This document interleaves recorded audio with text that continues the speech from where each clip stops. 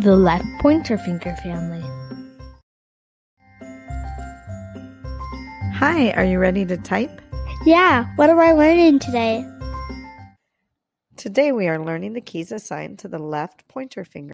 Yay, it's finally my turn. Sometimes I'm called a bossy finger, but that's just because I love to type. Every key on the keyboard has a finger assigned to it. We call these finger families. They help us learn how to touch type with all our fingers, even our ring and pinky fingers. The left pointer finger types the R, F, V, T, G, and B keys, and its home is the F key. Now it's your turn. Look at your keyboard. Can you find R, F, V, T, G, and B keys?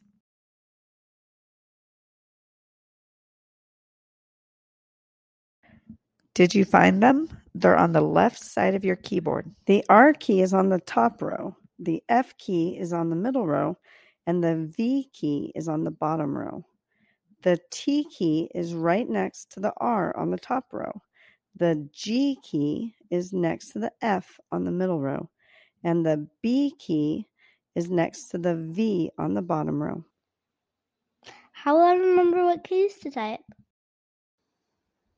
That's easy. Think in your head R, F, V, T, G, B.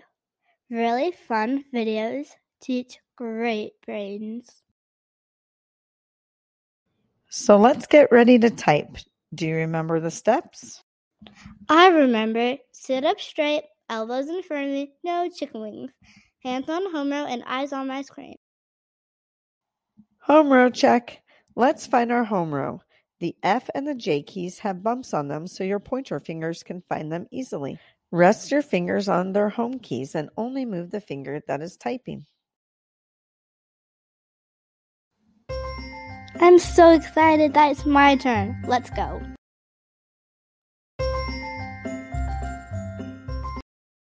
Created using Powtoon.